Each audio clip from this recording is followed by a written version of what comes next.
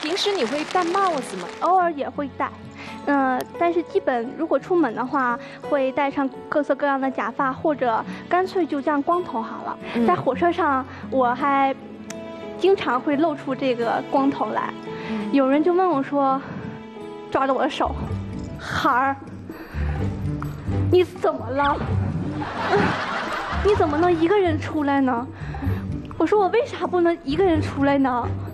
他说那你你你都化妆成这样了，你家人不管你吗？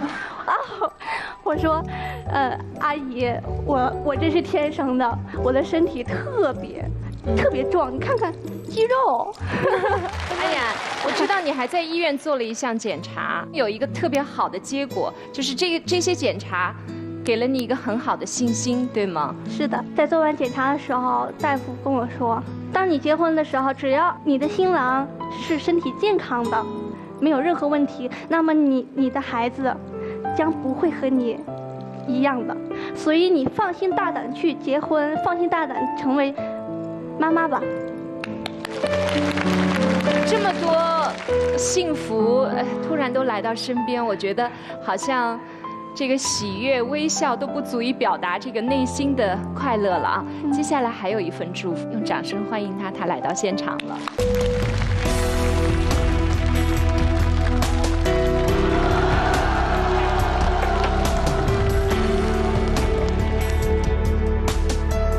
三位老师好，欢迎欢迎，没事没事没事。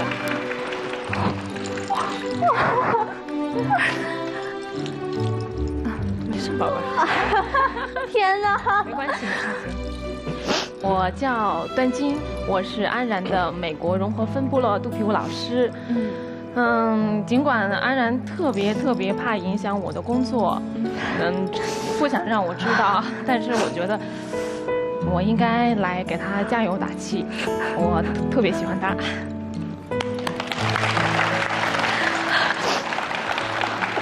老师他是什么时候跟跟你一起来学这个部落呃肚皮舞的？对，嗯，有一年的时间了。同学们和他一起跳舞的时候，你观察同学们的感受是什么样？刚开始是好奇，但是后来都非常的愿意跟安然交朋友。他平时是和同学们融融在一起的，非常这个融洽的那种关系吗？他特别的乐观，嗯，他散发出来的那种正能量是很纯洁的。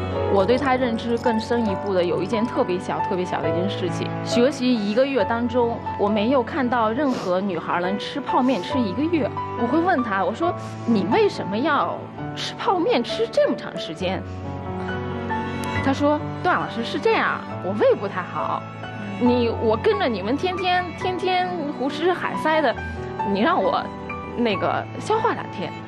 但是我每次看到他同学默默说：“哎呦，段老师，那个安然好久了，要不我们再带出去改善一下。”他生活特别节制，嗯，他会把省下来的每一分钱花在他学习的上面去，包括他平时的嗯穿衣打扮这种 DIY 都是他自己可能从从生活上省下来的一种状态去给他锦上添花的。我觉得他嗯很很了不起，很自立。